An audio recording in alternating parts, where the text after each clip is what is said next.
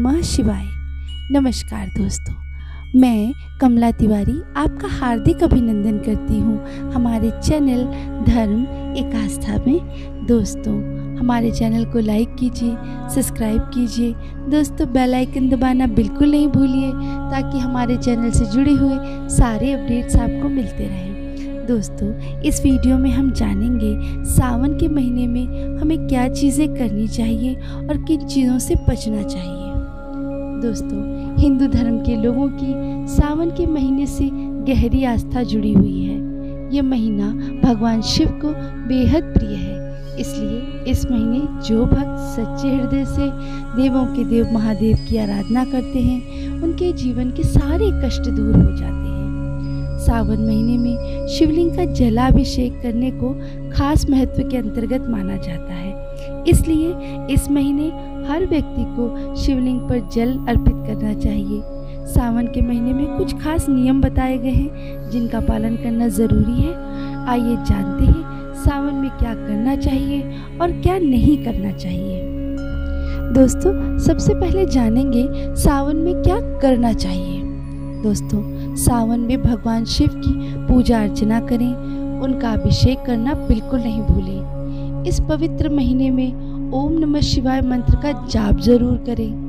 भगवान शिव को इस महीने बेलपत्र, भाँग, धतूरा आदि चीज़ें अर्पित करें। भगवान शिव के साथ साथ माता पार्वती की भी पूजा करें। दोनों की पूजा सच्चे हृदय से कीजिए, दोनों की आरती उतारिए। संभव हो तो सोमवार का व्रत करें। दोस्तों रुद्राक्ष धारण करने के लिए सावन का महीना अत्यंत शुभ माना जाता है। इसलिए यदि आप रुद्राक्ष धारण करना चाहते हैं तो सावन के महीने से अच्छा कोई दूसरा समय नहीं होगा।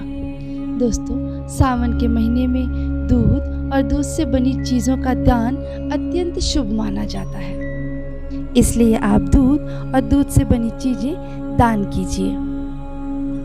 दोस्तों अब जानेंगे सावन में क्या नहीं करना चाहिए।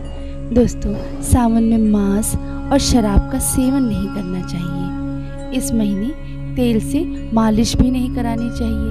अपने शरीर पर तेल नहीं लगाना चाहिए। दोस्तों, इस पवित्र महीने में दोपहर के समय सोना नहीं चाहिए। इससे महादेव रुष्ट होते हैं। दोस्तों, सावन के महीने में पुरुषों को दाढ़ी और बाल नहीं कटवाने चाहिए।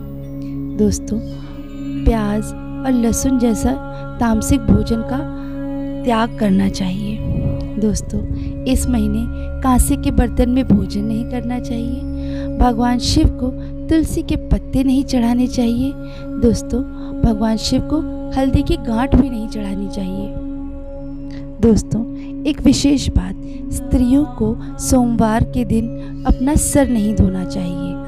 तो सावन के महीने में, सोमवार के दिन स्त्रियाँ इस चीज़ का विशेष ध्यान रखें कि उन्हें अपना सर नहीं धोना चाहिए। यदि स्त्रियाँ मासिक धर्म के अंतर्गत हैं तो इस चीज़ को बिल्कुल नहीं करना चाहिए। स्त्रियों को अपने मासिक धर्म का सिर सोमवार के दिन बिल्कुल नहीं धोना चाहिए।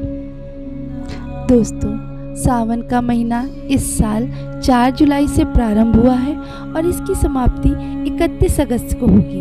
पंचांग के अनुसार सावन का महीना उनसठ दिनों का है। इसी वजह से सावन में मलमास का लगना है। अपने में अनुपम संयोग है। सावन में मलमास 18 जुलाई से 16 अगस्त तक रहेगा। ऐसे में भक्तों को भगवान शिव के साथ भगवान विष्णु की कृपा प्राप्त होगी। दोस्तों, इस प्रकार की अन्य जानकारी हेतु हमारे चैनल को देखते रहिए, लाइक कीजिए, सब्सक्राइब कीजिए। वीडियो अच्छा लगा हो तो कमेंट सेक्शन में ओम नमः शिवाय ज़रूर लिखिए। धन्यवाद।